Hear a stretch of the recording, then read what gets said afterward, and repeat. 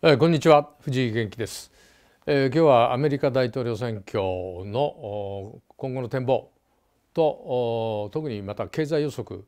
それに対してまた日本はどう対応すべきかというようなことについて、えー、3時間以上にわたってお送りいたします。えー、初めの1時間目は私がですね、えー、現状の分析と予測ということをさせていただきます。えー、2番目のセクションは経済にですね、えー、重点を置いてお話をいただいて、えー、対談相手がいます。それから第3部は、えー、台湾の方と私で台湾ボイスの林健良さんと私で、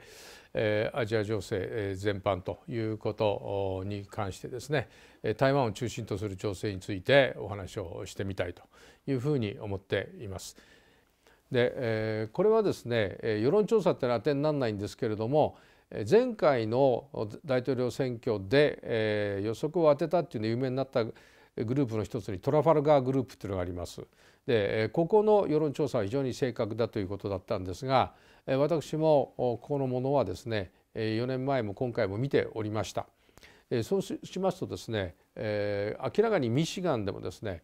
それからウィスコンシンでもですねトランプが確実にリードしてたんですね。でこれがですね、逆転して変な形で逆転しているということは明らかに不正投票、え、不正収票ということがですねあったということをですねあの裏付けると思います。さああので皆さん考えていただきたいんですが日本でどの程度それあの報道されてたかは問題なんですけども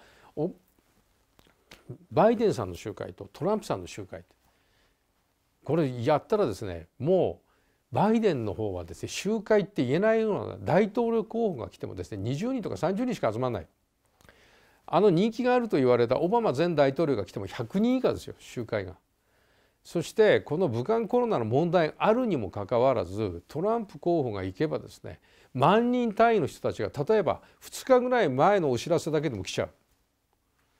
これ飛行場でそれだけの人が集まってくるそれからそのトランプの子供たちですね。ドナルド・トランプ・ジュニアとそれからエリックという次男がいますけどもそれからイバンカさん有名なんですね。えこういう子供たちが直接行くだけでも1,000人単位の人たちがどんどん集まっちゃう。候補者じゃなくてですよ。そしてこれだけですねコロナの問題があるにもかかわらず集まってくる。副大統領のペンスさんが行ってもものすごい人気。なんとペンスの奥さんまで単独で行ってもですね数百人の聴衆が集まってしまうと。そのぐらい大人気のの候補とですね、えー、この地下室にずっと閉じこもってですね、えー、たまに集会やっても数十人しか集まらないバイデン候補とやって一体どっちが勝つんだっていうことこれちょっと常識でですね考えたらですねこれ分かることなんですよね。えー、ですからで、えー、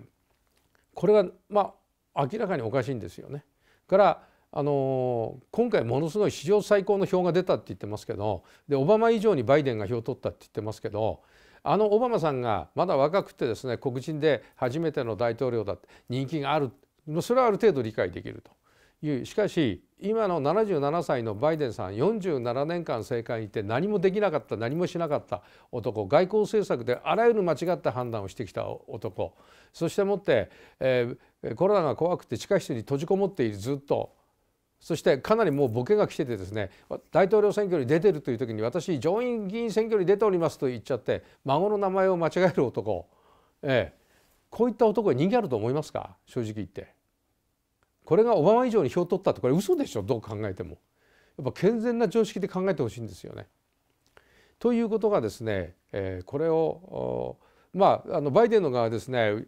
コロナが怖いからうちはリモートで全部やってんだっていう言い訳にしてましたけどカマラ・ハリスが言ったって誰が言ったってですね人なんか集まりはしないんですね。もう田舎でですねソーシャルディスタンス保ちながらっつって丸い白い輪っかを描いてですねみんな椅子に座ってますけどその椅子すらも満員にならない、ええ、30席50席の椅子が満員にならないようなそういう選挙だったわけです。えー、個別の動きのことを申しますと,、えーと、フィラデルフィアではですね、えー、87%まで開票されてトランプ陣営がもうそろそろですね、えー、これはもう勝利宣言出そうかって言ってる時にですね投票ストップあと13%の票が残ってないんですよ。それでもってそこからですね怪しげな郵便票というものが出てきたと。でもともとあのフィラデルフィアはですねこの、えー、ペンシルベニア州の一番有名な町がフィラデルフィアですけどフィラデルフィアっていうのはもう100年来ですね民主党の支配地域で非常に不正投票が前から行われているんで有名なところ有名な町なんですね。だからここでは共和党候補は5%ぐらい余分に取っとかないと選挙に負けるねって言われてるその町なんです。いわゆるそのマシンがあるんですよ。マシンって、えー、集票マシンですね。それが機能して例えばフィラデルフィア市に限るとですね投票所いいですか皆さん。投票所にですねバイデン・ハリスのポスターが貼ってある。これまず違法行為ですね。フィラデルフィア市の市中の投票所はほとんどそうだったしかもそこでですねで出てくる、えー、その集計所の投票所のこれは中立でなければいけない職員がカマラ・ハリスとバイデンのフェイスマスクですねお面かぶってると。でその場で選挙ポスター選挙のビラ巻いてると。投票所ですよ。投票所の前じゃないですよ。投票所の職員がですよ。もうありえないようなことが起きてるわけですね。でそこでもあのじゃ、えー、投票立ち会人が開票立ち会人が開票立ち会えないと。いう状況が作られてる。遠くに離されてですね。よく見えないじゃないか。じゃあ双眼鏡は使っていい、まあ、その双眼鏡なんて見えませんよ。手元なんかね。10メートルも離れたら。そういう状況ですよねそういう状況があの兵器で行われている。で、えー、ジョージア州でもそのペンシルベニア州今言いましたネバダ州でも同じようなことで、えー、トランプがリードしていたのが州票が開票がストップしてある時で突然ですね、えー、郵便票がバイデン票ほとんど全部バイデン票が入ってきて逆転しましたということになってる。ネバダ州ではですね、えー、これはあの共和党側がこれを摘発しておりますけど1万票が州外から投票されたと亡くなった人の票もあるとから投票権のない18歳以下の人の票もあったとで3062件の選挙法違反をネバダ州では共和党が発見したと言ってそれでもって連邦の司法長官にですね訴え出ています。まあ、そういう状況ですね。だからミシガンウィスコンシンはもう決まったっつってくるか決まってないですまだ最終的に。ウィスコンシンでも合法的に1%以内の差で決まった場合は課税直しということになりますので課税直しの過程で無効票違法票を排除すれば絶対にトランプが勝ちます。ミシガンもそうです。それからですね、えー、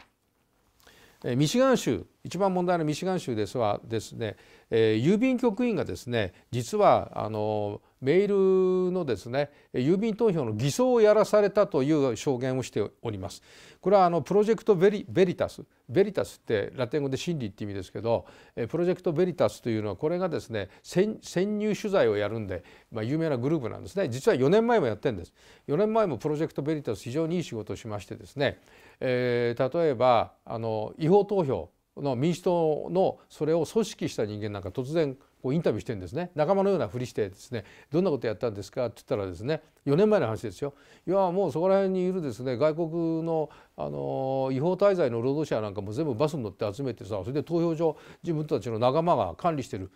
投票所に行ってでみんな投票させちゃったんだよ。いやそれあの全部外国人で投票権ないんですよ。うん、だけどまあ前からやってる人なら構わねえんだよとかそういうのを取ってきちゃってるんですよね。そのローカルなあの田舎の民主党の地方の幹部の声ですよね。でそれからその CNN に出てるですねニュースキャスターといいますかコメンテーターなんかもですね仲間のふりして近づいていくんですね。俺もって「いやあのロシアゲートロシアゲート」っていろいろやってますけどもあれどうなんですかね？っていうとそのテレビでトランプをですね口汚らしく罵ってですねロシアと共謀したって言ってる党の本人がですよ「え？とかいう感じです「あそうなんですか?」とか聞くとですねいや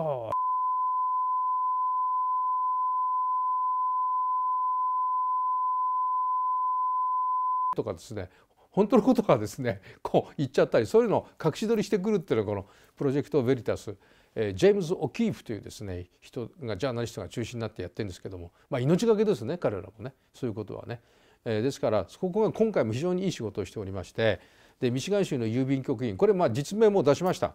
それでもってこのメールインバロットですね郵便投票のやつをですね11月3日の後11月4日以降も入ってきたものがあるのをそれを本当は数えちゃいけない11月3日までに届いたものにしか数えちゃいけないミシガン州は。だけどそれを不正ににに偽装してこれをあたかも11月3日以前の消印をして有効化してでそれをを投票所に持ってけというそういうふうに上司に言われてやりましたという男が出てきたわけです。